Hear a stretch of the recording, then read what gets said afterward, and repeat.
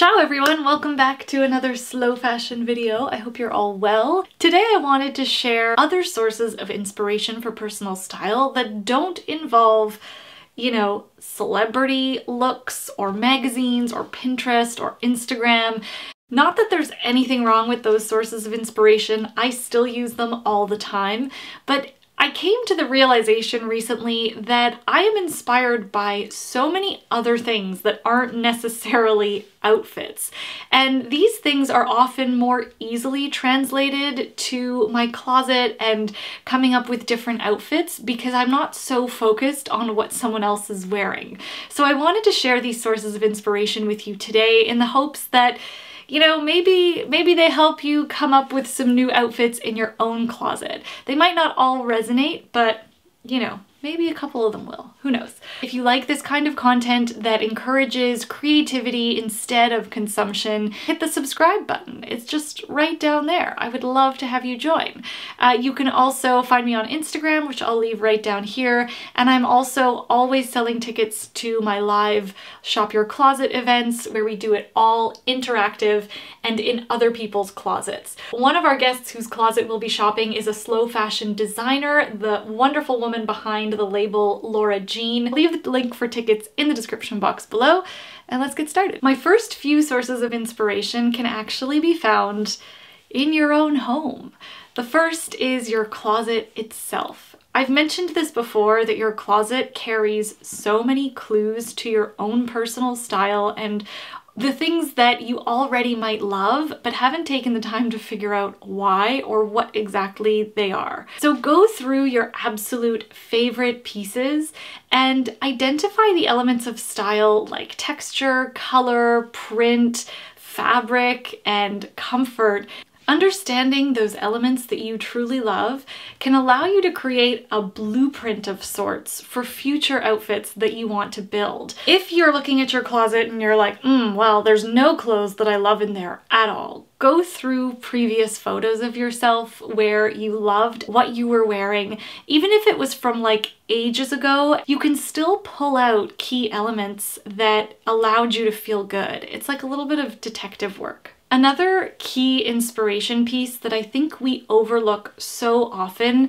especially because it's not very glamorous or sexy, what is it that inspires you about your daily life? Or what are the moments of your own lifestyle and your own days that really bring you joy and happiness? Ultimately, in order for us to love and wear what we have in our closet and to stretch our creativity with what we already have, our clothes need to actually be functional and work for our lives. And I often find it's including that functionality piece that brings a lot of interest to an outfit. So that's, I think, where this whole like sneakers with dresses and skirts came about, is because they were just practical and at the same time, it looks great. Okay, now for the external sources of inspiration.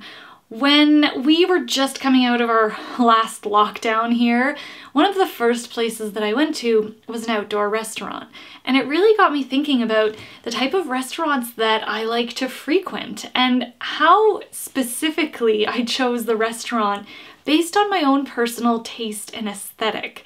So things like whether the decor was really minimal or did it have a lot of flair or a vintage vibe. Even the food on the menu itself, was it hearty or was it the really modern dishes with like a leaf and a lemon drop and they charge you like $500 for it? While it might be difficult to exactly translate a leaf and a lemon drop into your wardrobe choices, it can be so helpful to draw out specific elements like a lot of negative space perhaps on a dish or very minimal fine writing on a menu. As I was daydreaming about my next travel adventure, it also got me thinking about the countries I like to visit or if you're not someone who does international travel, it could even be about the surrounding areas around your home that you like to spend time in. Are you more of a nature person where the vibe is more organic and serene and you like being surrounded by the colors of nature?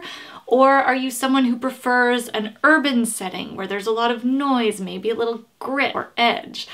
all of these things can be translated into our closet and how we wear our clothes. And I'm not saying you have to really stick to one aesthetic. Humans are so complex and we can have contradicting loves and aesthetics. Another source of inspiration is our art. How do you like to consume your art? Are you more of a music person? And if you are a music person, what type of genre do you prefer? Again, while you don't have to pigeonhole yourself into a certain type of musical genre, trust me, I love all types of music as long as it's good. But a lot of times music and art make us feel a certain way. And sometimes it can be an interesting challenge to see if you can translate an emotion to what you're wearing.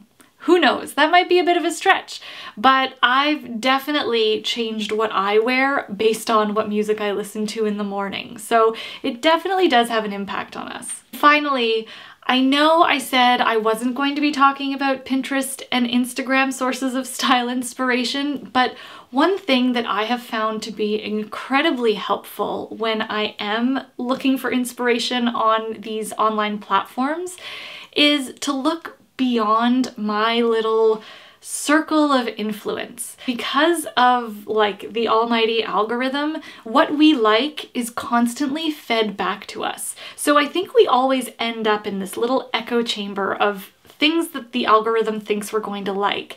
And that can become very insular and kind of close us off creatively. So I actively seek out influencers who are outside of my style aesthetic or who are outside of my sustainable influencer bubble.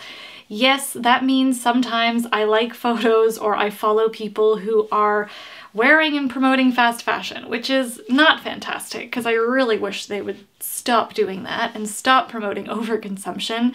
But I'm still able to pull very different elements of style from them that I can just apply to my own closet without having to shop. So even though their aesthetic might be very different from my own, I do gain a fresh and interesting perspective on what I already have in my closet. So there you have it. Those are all my little interesting sources of inspiration. Let me know in the comments below if you have a source of inspiration that is not fashion related. I think we could all benefit from that. Uh, give this video a thumbs up if you liked it or if you learned something new. Hit subscribe if you haven't already. And don't forget to grab a ticket to my next live Shop Your Closet studio. It'll be so much fun. And if you have questions about it, uh, drop me a question in the, in the comments over here or send me a DM on IG. Whatever you like, whatever floats your boat. Send me a carrier pigeon. Who knows? Maybe I'll get it. Okay.